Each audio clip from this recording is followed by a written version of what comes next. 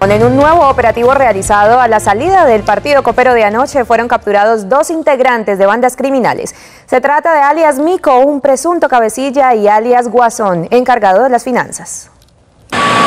Según la policía, alias El Mico, capturado después del partido de anoche en el estadio Atanasio Girardot, está sindicado por concierto para delinquir, desplazamiento, porte ilegal y tráfico de armas.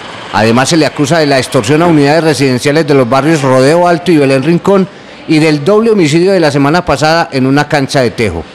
Al parecer esta persona también está siendo investigada por la muerte de dos personas de hace ocho días a raíz de que él ha generado una serie de confrontaciones entre grupos delincuenciales que también rinden cuentas a la, la Unión que delinque de alguna manera en el municipio de Medellín.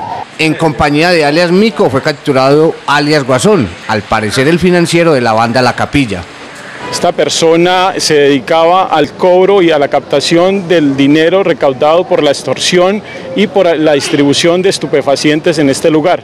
Esta persona también se encargaba de, dotar en, armamento a, a los integrantes y a las personas que estaban siendo inducidas a la comisión de delitos.